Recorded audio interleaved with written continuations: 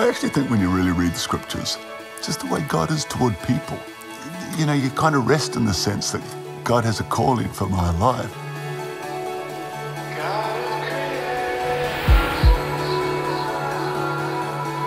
God creates us with a desire, we knowing there's something more for us, that we're here for a reason. And then we live in a world and an environment that just tries to knock all of that out of us.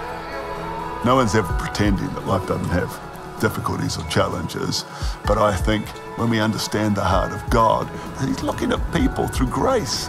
If people could just catch that, they would live life different.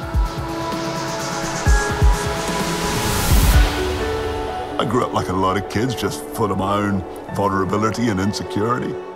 I've noticed pastoring Hillsong Church over all of the years, if I put an audacious vision out there, even though it's scary, somehow so I can look back and say, wow, God, you really have done that. When I preach, when I talk, when I write, I just want people to see God the way He really is, that He wants His best to be outworked in their lives that He has purpose for us, He has destiny for us, He has hope for us. It gets us encouraged to believe God for more.